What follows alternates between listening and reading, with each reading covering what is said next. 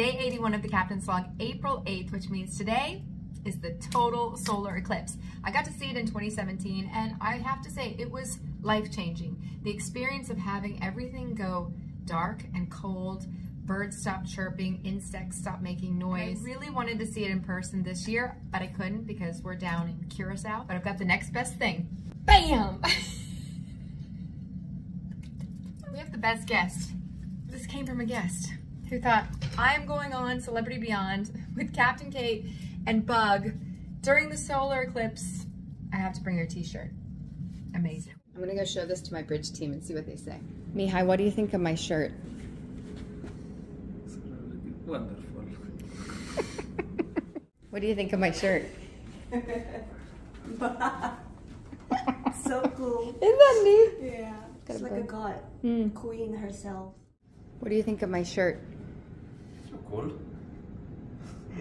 I like the picture of back. We are in Curacao today and there's a lot going on. Last night we left Aruba, uh, 11 o'clock departure PM, and then it was a 4.45 wake up call, so I had about four hours of sleep this morning. So I'll be heading to a nap, but the rest of the morning we had a bunch of meetings and then a walk around that was about an hour and 15 minutes, checking the maintenance around the ship. One of the areas we did was the kids club.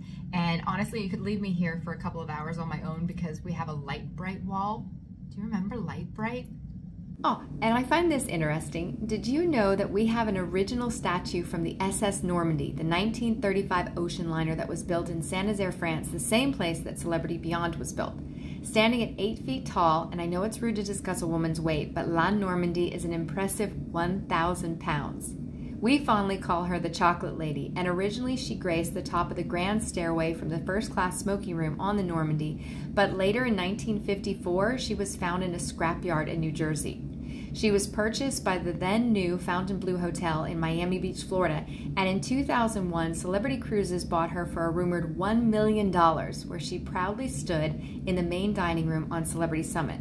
This is during her installation on Celebrity Beyond because during a recent dry dock on Summit, she was removed so that she could call Celebrity Beyond her new home. But from my Summit days, I remember her toes used to be shiny from constantly being rubbed for luck.